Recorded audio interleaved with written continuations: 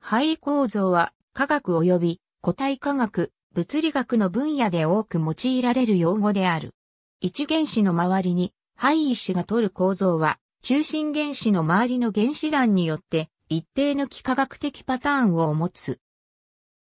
無機作体の分野では肺構造とは分子、または作体が中心となる原子に結合することで形成される幾何学的なパターンである。幾何学的配置は中心原子に結合した配石の数とタイプに応じて異なるが、中心原子の種類による。結合した原子数は配数と呼ばれる。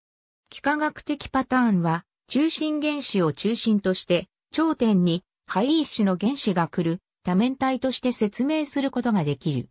金属の配位傾向はその酸化数によって変化する。配位結合の数は2から4の20まで変化しうる。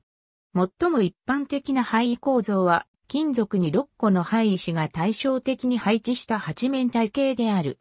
その他一般的な配位構造には、四面体系や平面四角形がある。結晶状理論は、配位構造の異なる繊維金属化合物の安定性及び常時性の存在の可否の説明に使われ、原子価格電子体反発則は、典型元素作体の構造予測に使われる。結晶構造内の原子の配構造は、結合モデルに依存する配原子の定義に使われる幾何学的パターンである。例えば岩塩中のナトリウムイオンには6個の塩化物イオンが隣接した八面体構造であり、塩化物イオンにも同様に6個のナトリウムイオンが隣接した八面体構造である。耐震立方合子構造を取る金属では、それぞれ8個の原子が隣接した立方体構造である。免震立方合子構造を取る金属では、それぞれ12個の原子が隣接した立方八面体構造である。